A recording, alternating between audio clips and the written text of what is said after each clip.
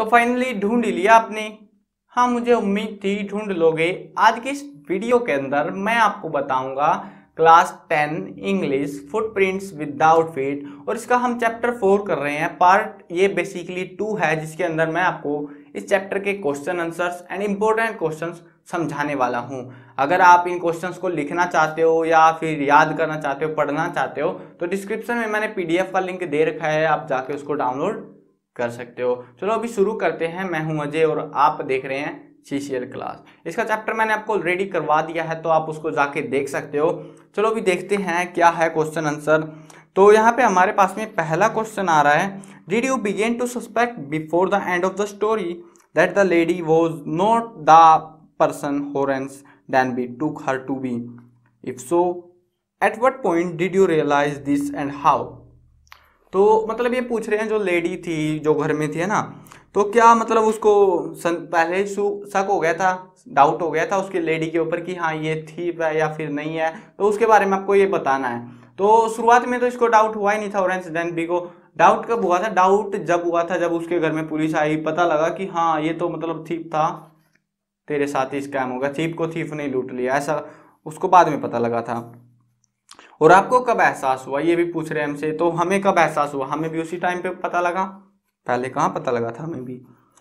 दूसरा क्वेश्चन आ रहा है what are the ways in which the lady manage to deceive Horace Danby into thinking she is the lady of the house why doesn't Horace suspect that something is wrong तो वो जो मतलब यहाँ पे पूछ रहे जो लेडी आई थी ऊपर से उतर के तो वो जो है उसको ट्रस्ट दिला देती है ऑरेंज डैनबी को कि वो उसकी ओनर है, उस घर की।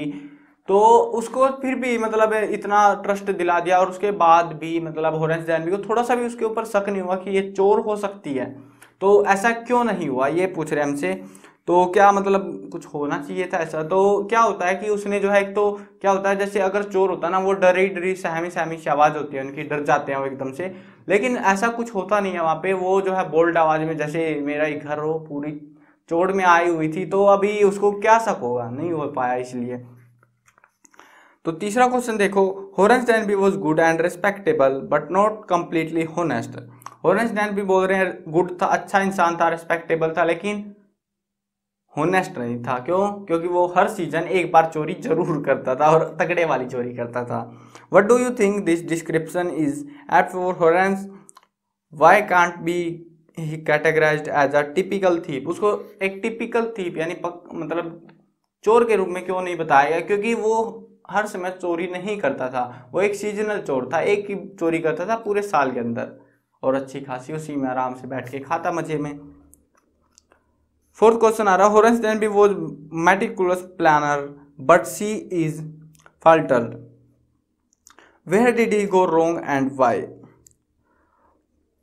तो यहाँ पे पूछ रखा है होरेंस डैन बी जो है सूझबूझ के साथ योजनाएँ बनाता था। प्लानिंग अच्छी थी ना उसकी? फिर भी वो गलती कर बैठा है यहाँ पे। मतलब अपने करियर में पहली बार उसने ऐसी गलती कर ली है। उसने कहाँ गलती की थी और क्यों की थी? तो पहला तो उसको जो है पता होना चाहिए था कि जो बाहर गए हुए वो कौन है, कैसे दिखते हैं। उसके बारे में उसने कोई आइडिया नहीं लगाया, लेकिन वो लेडी आती है, बोलती है कि मैं तो इस घर की ओनर हूँ। और वहीं पे स्कैम हो गया इसके साथ में फिर। तो ये था आपका, आगे भी है कुछ talk about it do you think Horace Danby was unfairly punished और that he deserve what he got तो आप क्या सोचते हो कि मतलब जो हॉरेंस डैनबी है, उसको जो सजा मिली है, जो प्रिजन जेल गया है वो, क्या वो सही है या फिर गलत है? या फिर उस चोर को जो मतलब जो लेडी थी, उसको सजा मिलनी चाहिए थी? ये नहीं, इसको नहीं मिलनी चाहिए थी। तो दोनों को मिलनी चाहिए थी, बाकायदा वैसे। लेकिन अब क्या कर सकते हैं? वो भाग गई तो। तो दूसरा क्वेश्चन आ रहा है do intentions justify action would you like can be do something wrong if thought your ends justify the means do you think that there are the situation in ways it's execute to act less than honestly तो चलो इस question को छोड़ो, ये काम का question नहीं है, ज़्यादा इंपॉर्टेंट भी नहीं है, ठीक है? एज यूजल जो नॉर्मल सा क्वेश्चन है ये। तो आपसे पूछ रखा है कि आप क्या मतलब उसके साथ में उसका साथ दोगे जो मतलब जो हॉरेंस डैन भी है उसके तरफ़ हो या फिर ऐसा गलत करना गलत है, ये सारी चीज़ें पूछ रखी है। आपकी राय पूछी गई है बेसिकली इस पार्ट में टाक अबाउट इट में। तो आप अपनी राय दे सकते हो। अभी जो है, क्या होता है, आपको एक सीक्रेट फॉर्मूला बताऊँ तो जो आपकी ये बुक है ना, ये बुक है आपकी फुटप्रिंट्स विदाउट फिट तो इस बुक के अंदर जो क्वेश्चंस आंसर्स आते हैं, वो कभी भी बहुत ही मतलब बहुत ज़्यादा रेयर चांस होगा अगर वो टेक्सुअल क्वेश्चंस में से आ गए। जो चैप्टर के अंदर आपको कुछ क्वेश्चन मिलते हैं, चार या छह क्वेश्चन कुछ मिलते हैं छोटे छोटे एक एक लाइनों के और वही क्वेश्चन ज़्यादातर आते हैं। बाकी मैंने इंपॉर्टेंट क्वेश्चन अलग से बता रखे हैं। पहले इन क्वेश्चन को कर लेते हैं, बाकी बाद में बात करेंगे इंपॉर्टेंट की। इन क्वेश्चन को समझा देता हूँ। तो पहले जो है एक बक्से से मैं आया था, पहला पार्ट है जो इनका तो उसमें देखते हैं कौन कौन से क्वेश्चन है। What does Horace Danby like to collect वो क्या कलेक्ट करना पसंद करता था? बताओ आप। वो क्या कलेक्ट करना पसंद करता था? एक्सपेंसिव बुक्स दूसरा क्वेश्चन है why does he steal every year वो हर साल चोरी क्यों करता था? क्यों करता था हर साल चोरी? ताकि उसका काम चल सके। और काम कौन सा चलाना था उसको? उसको सिर्फ़ बुक्स खरीदने का शौक था, वो भी एक्सपेंसिव बुक्स तो उनके लिए वो चोरी करता था। पहला दूसरे पार्ट का पहला क्वेश्चन आ रहा है who is speaking to Horace Danby Horace Danby से कौन बोल रहा है? वो एक लेडी थी जो बात कर रही थी उससे, है ना?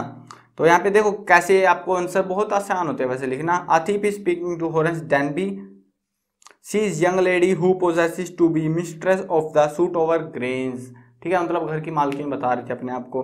दूसरा पार्ट दूसरा क्वेश्चन इसमें who is the real culprit in this story तो रियल कल्प्रिट यानी कि रियल जो थीफ था या फिर रियल जो गुनाहगार था, वो कौन था असली में? तो वो कौन था? वो लेडी थी। तो अब यहाँ पे ये तो हो गया आपके क्वेश्चन आंसर जितने भी थे चैप्टर में, अंदर बाहर सारा हो गया। अभी बात करते हैं थोड़ा इंपॉर्टेंट क्वेश्चंस की। इंपॉर्टेंट क्वेश्चन इस चैप्टर से आपके कौन कौन से आ सकते हैं? देखो लेडी का क्वेश्चन ज़रूर आएगा। ज़्यादातर चांस रहेंगे लेडी का क्वेश्चन आने का। लेडी का क्वेश्चन कैसे आएगा? या तो आपसे पूछेंगे कैरेक्टर स्केच लेडी के बारे में। मतलब आपको क्या क्या बताना है कि वो प्रीटी थी ब्यूटीफुल थी, वो उसकी आवाज़ बोल्ड थी, बस दो तीन दो ही लाइनें बनेंगी, ज़्यादा कुछ नहीं बनेगा। जो इन्होंने बता रखा है, बाकी आप पढ़ लेना, अच्छे से मैंने लिख भी रखा है इंपॉर्टेंट क्वेश्चन में। तो ये जो है, इसको अच्छे से याद कर लेना, इस क्वेश्चन को करेक्टर स्केच ऑफ़ लेडी ठीक है? और उसके अलावा जो है, आप यहाँ पे देखते हो इन बिल्ट क्वेश्चन जो अंदर आते हैं ना चैप्टर के, मैंने अभ्यास के, अभ्यास क्या, बोल रहा हूँ टेक्सुअल क्वेश्चन आंसर में से क्वेश्चन नहीं आते हैं। जो चैप्टर के अंदर क्वेश्चन हैं, उनमें से आते हैं और उनमें क्वेश्चन देखोगे आप। तो उसमें जो है, यहाँ पे क्वेश्चन आ सकता है कि, देखो, पहला पार्ट ज़रूर कर लेना। मेरे हिसाब से दो ही क्वेश्चन है छोटे छोटे एक तो होरेंस डैनबी को क्या कलेक्ट करना पसंद था, वो था एक्सपेंसिव बुक्स और वो हर साल चोरी क्यों करता था उन एक्सपेंसिव बुक्स को खरीदने के लिए? देखो, एक ही ज़्यादा बड़ा नहीं है ना? दोनों क्वेश्चन हो गए आपके। उसको पसंद है एक्सपेंसिव बुक्स और उन्हीं को खरीदने के लिए वो चोरी करता था। एक लाइन बस याद रख लेना, दोनों क्वेश्चन का आंसर उसी में आ जाएगा आपका। तो ये दो तीन क्वेश्चन मैंने आपको बता दिए हैं जो कि ज़्यादातर आते हैं। बाकी मैंने इंपॉर्टेंट क्वेश्चन है, क्योंकि बीस नंबर की बुक है यार, चार पाँच ही क्वेश्चन आते हैं, इस बुक से ज़्यादा नहीं आते। और चैप्टर है दस तो हर चैप्टर के हिस्से में एक एक क्वेश्चन नहीं आता, बराबर से नहीं आता एक एक क्वेश्चन भी। तो उसके लिए मैंने जो है हर बोर्ड के एनालाइज किए पेपर्स तो आप कौन से बोर्ड से हो? ज़रूर से कमेंट में बताना और बताना कि मतलब यहाँ पे मतलब कितने नंबर की आपकी ये बुक आती है। सो so, हमें ज़्यादा आइडिया मिले क्योंकि मैं जो है mainly C B S H का ही देखूँगा क्योंकि मैं मेरे पास अभी इसी का सिलेबस है। मुझे ज़्यादा अदर स्टेट्स का नहीं पता कि कहाँ कहाँ आपकी ये बुक चल रही है इंडिया के अंदर क्योंकि कुछ में अलग बोर्ड है कुछ का अलग बोर्ड है कहीं फॉलो करवाते हैं एन को कहीं नहीं करवाते। अगर आपके में है तो कमेंट में बता देना और बता देना C B S H B S के अलावा कौन से बोर्ड में आप हो तो ज़्यादा आइडिया मिल पाएगा, ठीक है? तो बाकी जो है पीडीएफ वगैरह सब कुछ आपको डिस्क्रिप्शन में मिल जाएगा, ज़्यादा कुछ दिक्कत आपको नहीं पड़ेगी। मैंने इंपॉर्टेंट क्वेश्चन की वीडियो बना रखी है, जिसके अंदर मैंने पूरी बुक के इंपॉर्टेंट क्वेश्चंस बता दिए हैं पिछले चैप्टर्स के सॉरी पिछले सालों के क्वेश्चंस पेपर्स को एनालाइज करके तो उसको देख लेना, बहुत काम आ जाएगी और आसानी से आप इस बुक को रिवाइज कर सकते हो। तो बस यही था वीडियो में। मैं कवर करने वाला हूँ class eight nine ten eleven और ट्वेल्थ क्लास की सभी सब्जेक्ट्स की वीडियोस अगर आप मिस नहीं करना चाहते तो इस तरह में सब्सक्राइब का बटन है सब्सक्राइब कर लो। साथ में घंटी आएगी, उसको दबा देना ताकि कोई भी अपडेट आपसे छूटने ना पाए।